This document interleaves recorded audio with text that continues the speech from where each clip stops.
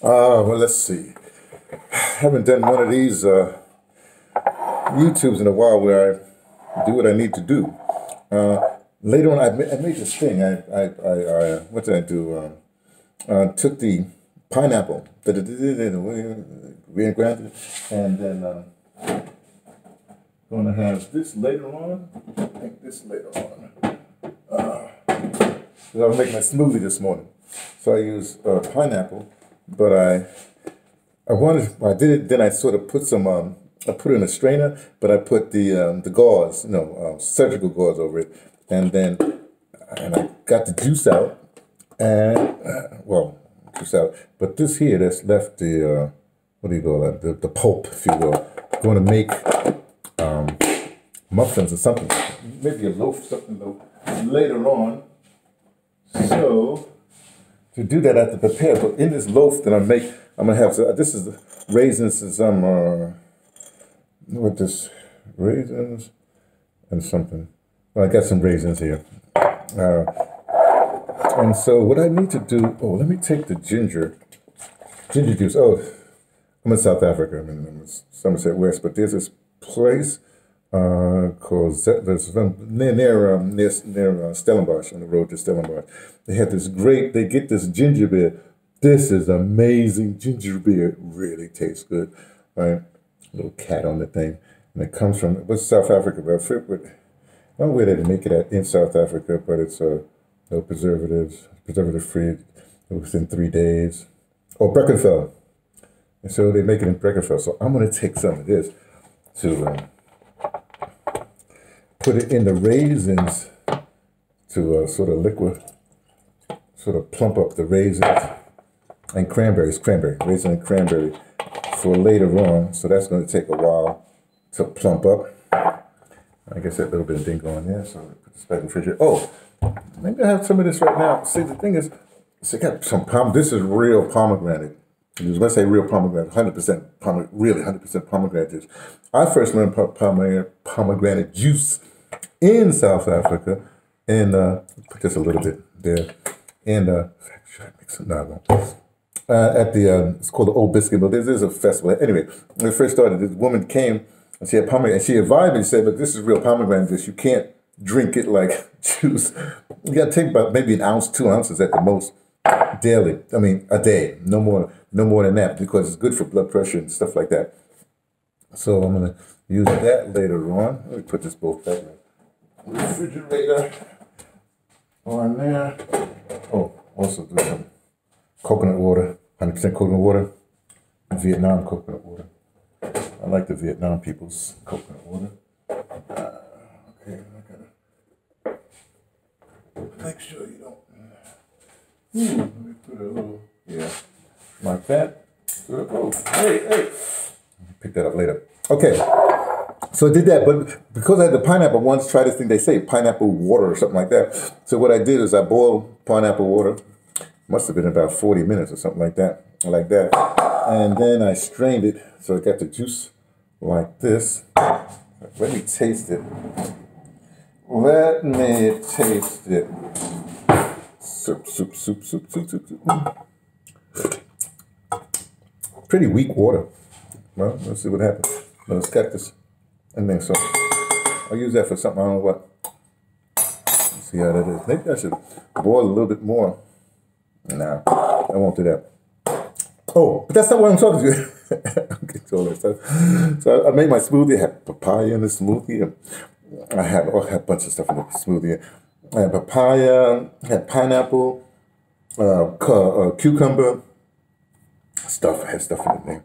But let's go over here. I want to show you something else that I got just to let you know. This this is one of those uh, what do you call it? Uh, those posts where I'm catching up because you know I'm supposed to every once in a while tell you all what's happening as far as diet and what I'm doing in my life. What I'm doing. I want to move that out the way so you can see that. So let me. Hey, come on, hey, stand up. I don't have my gimbal. That's the problem. I don't have my gimbals. Come on now. This out. Oh, avocado was in that smoothie also. So that was good.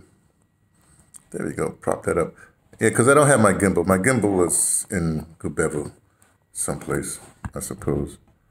I gotta find it. Come on, dang. There we go. That's good enough. I'll leave it like that. Um, but eh, see, the, me and supplements are kind of interesting. I take supplements for a while, and then I don't want to say I get tired of them. But when when the jar runs out, I leave it alone for a while to get some more supplements. But uh, my sister told me because I, I really improved um, a few months, about a couple of years ago. I, my, I don't know. I started to really walk bent over and stuff like that. Ooh. So my sister advised me to advised me to get. Um, uh, she's a nurse. She advised advised me to get um, vitamin E. So I went and got vitamin E. So I've been doing vitamin E for about uh, less than a month. And the back is actually straightened up, the bone structure, whatever have you. So, but I got the highest quality. Got the vitamin E, uh, 670 milligrams, 1,000 IU, whatever that means. Uh, so the vitamin E really helped the posture, whatever. That's kind of interesting. So I got that.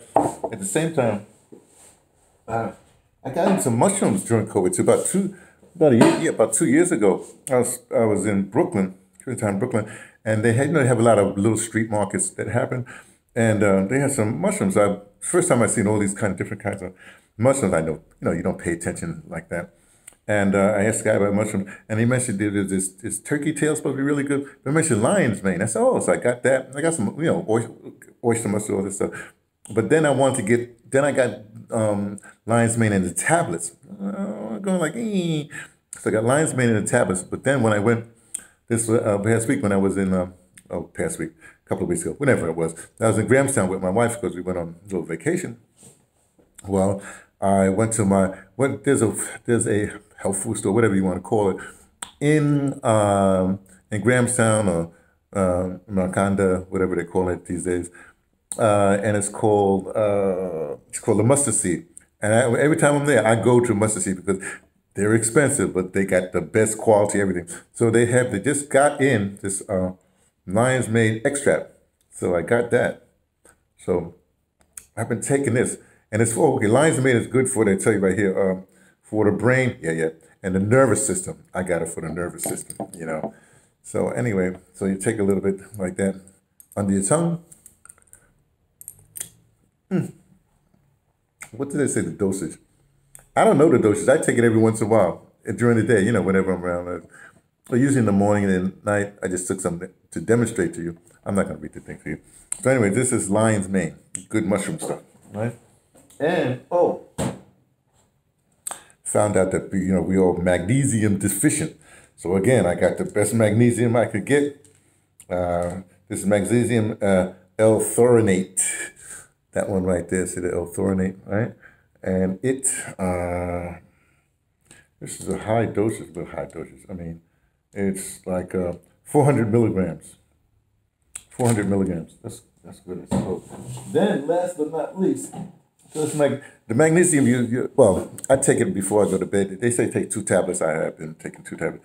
Then the last but not least new thing that I got, because the other my, my other stuff that I use like like um, the the vitamin D, whatever. I'm the sun. So I'm not doing that until I get until I get back, you know, then I might buy, see what kind of supplements I get then. Then I have this, uh, uh, so I got this uh, olive leaf, olive leaf extract. Now I've been, uh, I've known this for, for, for, for, for a long time. I know about olive for a long time, maybe 10 years, but I never started to use it. It's good for um, blood pressure, something like that. I left my thing over there my uh, my cup to drink. I'll be right back. Hold on. Go ahead, get sex. I want to drink.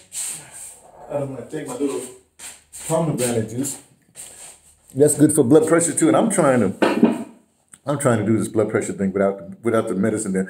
See, the thing about um, I can get I get I can get when I'm in the states I get free blood pressure tablets because I'm in the VA system, but I don't care about that because they have too many side effects, right? So the good thing about you know, um, much anything that's natural, just the side effects minimal. You know what I mean? So there you go. So I need to take a little bit of my pomegranate juice. Strong. So so I take this um, olive leaf to to basically um, it's like an alternative to my to blood pressure medicine. So I just take that, and uh, that's it. So that's what tell you what's what's new. Always got to eat my avocado all the time. In fact, I put avocado in the smoothie this morning, like that. Oh, oh, one more thing. I did this photo. Um, my wife, we went to, uh, I took on a vacation. We went to Grahamstown to the Fest, National Arts Festival. Pretty good. Um, to get this back in in the swing of things, you know. So, cause like during COVID they were down. I think last year they had half virtual, whatever. This time they had all whatever. They had it was back to normal. But coming back, we went to um, went to Muizenberg, a little, you know, by the beach, a little vacation, whatever, eats or whatever, and just so she can, because because we wanted, to, I had to come to Cape Town anyway. Then uh, you know, after three days, um, we went back. I got had stuff to do here, working, uh, not working with, because I don't work for them. That ain't actually you can't hire me. people people understand you can't pay me, so you can't hire me. But I'm like that's the way I am. Um, but and coming back, we took the, the, the Metro Rail in Cape Town. You know, if you know anything about what's been happening, you know, most of the train lines are down because of, during the COVID, whatever, whatever happened, you know, they've been burning train cars for, for years and they, they steal the copper, they steal the, all kinds of transmitters, blah, blah, blah, blah, blah, blah, blah, blah. They steal that. And so most of the lines is down. I have a few uh, lines running. One of, the, one of the lines is the, the, it's called the Southern Route whatever it goes to Fish Hoek, which goes past Muizenberg, and they have the new train, the new train car there. It's kind of interesting because you can see all the way through. You know, so the crime would be less because everybody could see everybody through. They try to have guards. And at least when I was there about a month ago, whatever, no more than that. Whenever I was there last, um, they had uh, they had basically a guard at every door. it was very ridiculous. But now they didn't have that. It was funny. So me and my wife was going back, and um, and it was like after vacation, and I, I took some selfies, right? And I, I just for some reason this I took this selfie, and I love. I actually love this picture. Now the reason why I love it for for a bunch of reasons. Uh, one, she's so she the way the way she has her hand over over me is like really. I, it's just whatever. I got my half goofy smile on there. She's got her thing like that. And um, she's so relaxed. It was like, it was a good vacation because we relaxed. I like, I know some things about our eyes. Da, da, da. So anyway, so I got this blown up. Hang it with me, so I'll see what happens with that. And uh, that's it. I, I just give you an update on, on, on the life, what's happening. So there's going to be a really, uh, uh, I'm, I'm, I'm hanging out with this place called, this initiative called Food Dialogues. I think they've been going for eight or nine years. But just last year, they started to get bigger and bigger, and they've gotten some partnerships going on. So in a few years, uh, and it's international. And one of the things I want to uh, talk about something because okay, let me throw this this on you, this this little thing on you, so you understand. See, uh, as you can hear, I come from the states. And, and, I'm, and my, my circles, my I've been around a while, and all of the major movements, you know, I've been involved with as far as North goes. But one of the things everybody's into Pan Africanism, right? Like I said, I don't want to get into that, but I have this joke about that.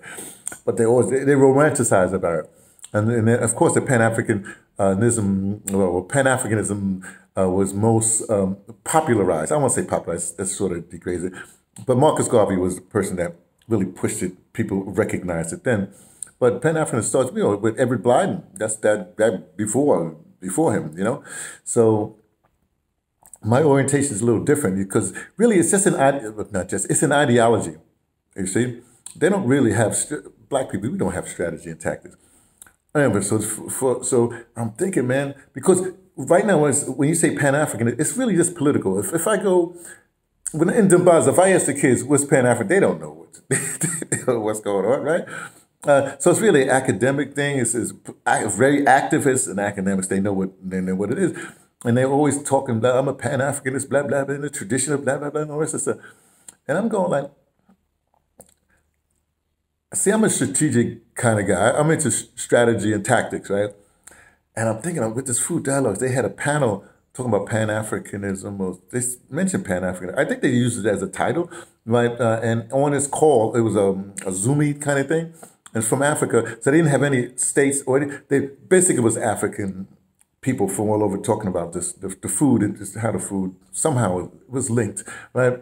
And I was thinking, you know, that's right. Real Pan Africanism I mean, not real Pan, of uh, a way for Pan Africanism to really be people to understand it is through food.